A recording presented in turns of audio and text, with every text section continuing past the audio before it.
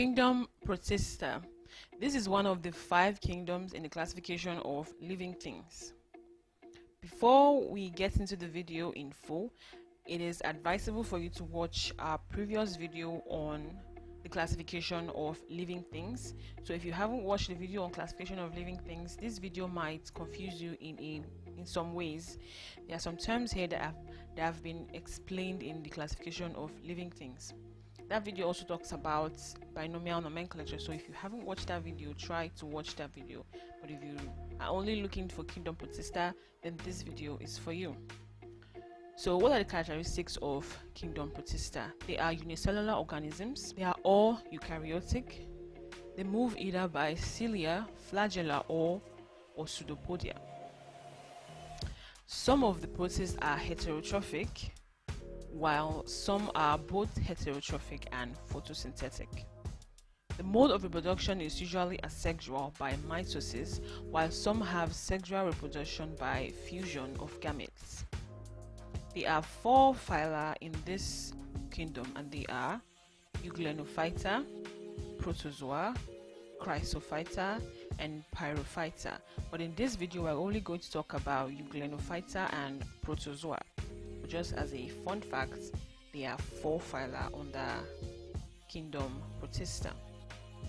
So, Protozoa they belong to the group called protists. So protozoa are also protists. They are also microorganisms. So what you should know is that all the phyla of this group will also have the general characteristics of kingdom protista. So if you forget the specific characteristics, you can always write the general characteristics. But the tricky part is that some characteristics might not be there.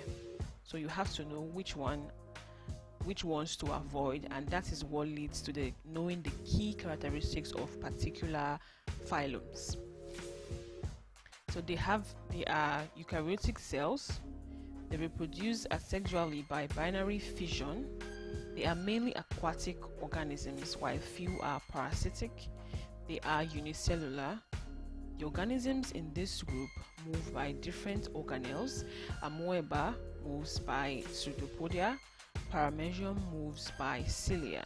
So from here you can note that the examples are Amoeba, Paramecium, and Plasmodium. Euglenophyta. Now, Euglenophyta is one of the most talked about um, phylum, phylums in kingdom Protista. Now, this is because this kingdom contains Euglena viridis. This is a protist and a typical example of an organism that has both plant and animal characteristics, even though it is a microscopic unicellular organism. So, it is a very, very small organism that can behave both like a plant and behave like an animal. That means that the survival rate of this organism is very, very high. Now, what are the animal characteristics of Euglena? they possess flagellum used for movement. You know, one of the different, one of the major differences between plants and animals is the level or the rates of movements, which both of them can have. While animals can completely move from one place to another, plants have restricted movements. That means they can move, but they cannot completely displace themselves from one place to another. They have possession of gullets for food passage they possess contractile vacuole used for excretion and osmoregulation. They have eye spots which enables them to detect light intensity. They have pellicle which makes their body flexible or gives them a definite shape.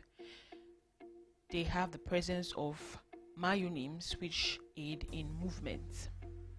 They have the ability to carry out holozoic mode of nutrition in the absence of sunlight.